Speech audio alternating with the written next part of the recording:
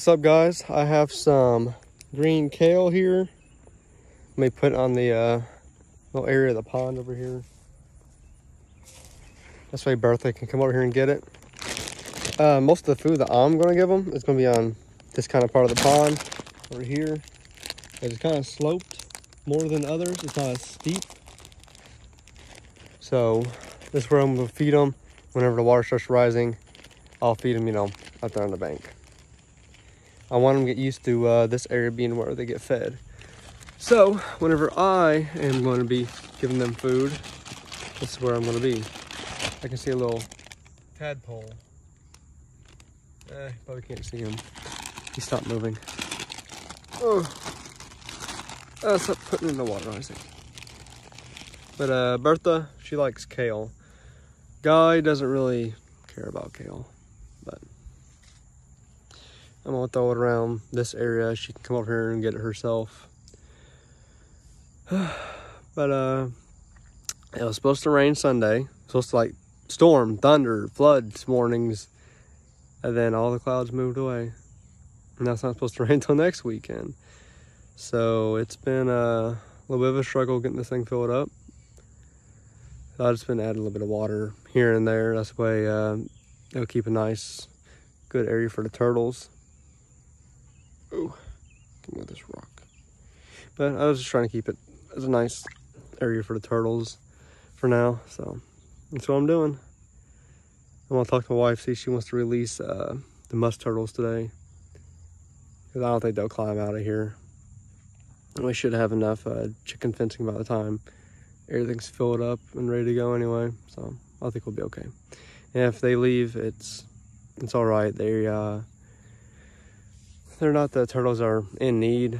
I was just we just liked musk turtles, so we have some.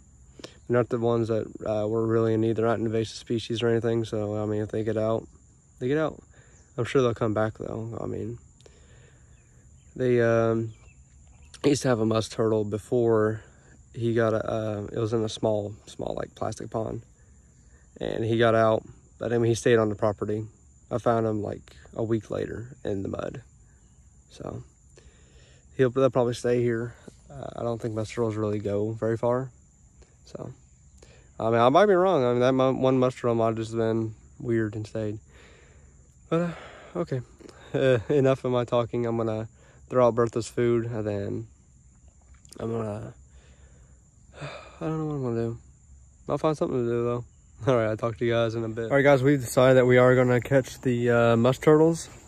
We're to take them and we're also going to take the uh, remaining fish out of Guy's pond. So the musk turtles are in here. They're, you know, behind those rocks. And the goldfish are over here. There's three of them and there's some minnows. So we're to empty out this pond and uh, catch the fish. So, well, not pond, it's a pool. But yeah, we're going to do that. And we're to put the turtles in the, excuse you, put the musk turtles and the uh, goldfish in the pond. So I'll uh, talk to you whenever I catch everything. All right, talk to you in a bit. All right, everyone, my wife, she caught a big bunch of buggies. I'm be throwing them with the turtles. That's way, you know, the fish turtles have a little bit of bite. And we got the little goldfish. We got three goldfish and a bluegill and the two musk turtles. We're gonna release them in the pond.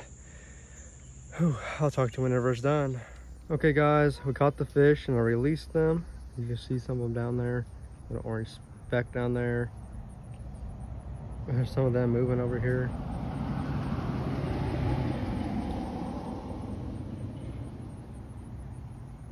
The rest of them are out doing something. I don't know where they went. That's pretty much it though. We caught the things and released them. If you want to see the release, it's uh, going to be in the Turtle Pond construction videos. So It'll be the next one of those if you guys want to see the release. All right, uh, I'll talk to you in a bit. Talk to you later. Uh, depends what else I do today. Bye.